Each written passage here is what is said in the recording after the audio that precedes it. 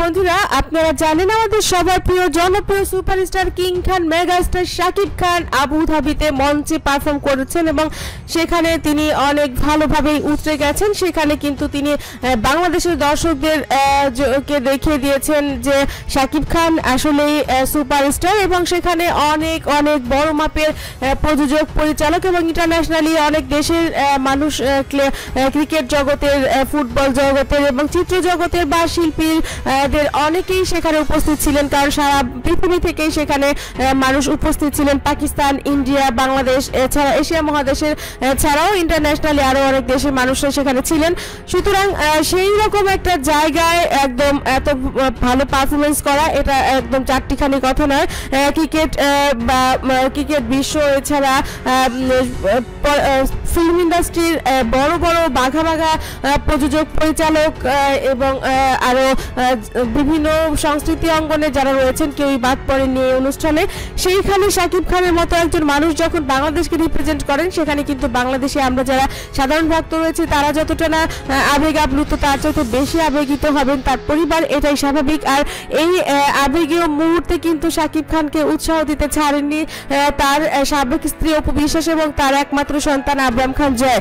অপু বিশ্বাস দেখেছেন শাকিব খানের পারফরমেন্স শাকিব খানের স্মার্টনেস অবশ্যই অনেক অনেক ভালো ছিল, আপনারা জানেন।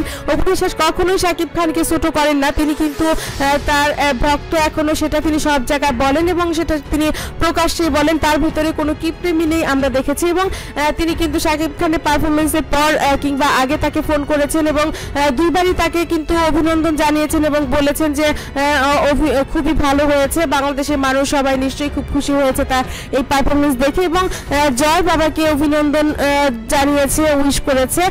একটা মানুষ সে যে জায়গাতেই যত বড়ই হোক না কেন, অনেক সময় হয় কি, যারা সিনেমা বা নাটকে অভিনয় করে, তাদের পরিবার হয়তো তাকে বুঝতেই পারে না যে সে এত বড় একজন অভিনেতা। যেমন আমরা জানি যে কলকাতার বা ইন্ডিয়ার বোম্বের আমাদের মাধুরী দীক্ষিত, যাকে আমরা ঘুম থেকে উঠেই যার চোখের কথা মনে করি, তার মনে করি, তার নাচের কথা আমাদের ভেসে ওঠে, তার গ্ল্যামারের কথা আমরা ভাবি। সেই মাধুরী দীক্ষিত যে বিয়ে করেছেন তার হাজব্যান্ড ডক্টর তিনি কিন্তু জানতেনই না মাধুরী আসলে কত বড় একজন সুপারস্টার এরকমই কিন্তু হয় এবং ঘরের মানুষরা যখন জানেন না, তাকে কিন্তু স্বাভাবিক মানুষ হিসেবে ট্রিট করেন। তার যে যোগ্যতাটা যেটা, সারা পৃথিবী যার জন্য কাঙাল, পৃথিবী যার জন্য পাগল, কিন্তু ঘরের মানুষটি যখন তাকে মূল্যায়ন করেন বা জানেনই না যে সে আসলে কি, তখনই কিন্তু ব্যাপারটা আসলে আমি মনে করি যে সেখানে তার মূল্যায়নটা সঠিকভাবে হয় না।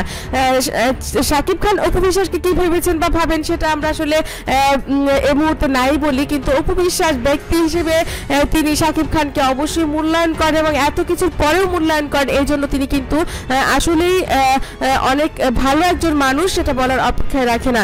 শাকিব খানকে অভিনন্দন জানালেন অপু বিশ্বাস এবং জয়, এটা কিন্তু সত্যি অনেক বড় একটা ব্যাপার এবং তাদের উৎসাহে শাকিব খান তাদেরকে ধন্যবাদ দিলেন। আমরা আশা করছি তাদের দুজনের মধ্যে যে সাম- সমস্যাগুলো রয়েছে, সেগুলো ব্যক্তিগত পর্যায়ে থাক কিন্তু আন্তর্জাতিক পর্যায়ে অর্থাৎ সিনেমা জগতে বা চলচ্চিত্রের ক্ষেত্রে দুজন দুজনের মেঘগুলো সরিয়ে ফেলে তারা হয়তো বা একসঙ্গে অভিনয় আমরা হয়তো দেখতে পাবো। কারণ অপুর ভিতরে কোনো রকমেরই কোনো দ্বিমত নেই যে তিনি শাকিব খানের একজন ফ্যান। তার ভালোবাসার দিকটা বাদই দিলাম, তার সংসারের দিকটা বাদই দিলাম। কিন্তু একজন ভক্ত তার জন্য যে মায়া, তার জন্য যে কষ্ট, তার যে ডেডিকেশন সেটাকে আমরা অস্বীকার করি কি করে? যাই হোক, যারা সাকিব ভক্ত রয়েছেন, অবশ্যই ব্যাপারটা অনেক ভালোভাবে দেখবেন এবং কমেন্ট করে জানাবেন আপনাদের কাছে ব্যাপারটা কেমন লেগেছে। ভালো থাকবেন আর সব খবর সবার আগে পেতে অবশ্যই সাবস্ক্রাইব করবেন এবং সাবস্ক্রাইব করার পর বেল আইকনে ক্লিক করলে কিন্তু বন্ধুরা সব খবর সবার আগে আপনার কাছে পৌঁছে যাবে। ভালো থাকবেন, ভালো রাখবেন, প্রিয়জনকে ধন্যবাদ।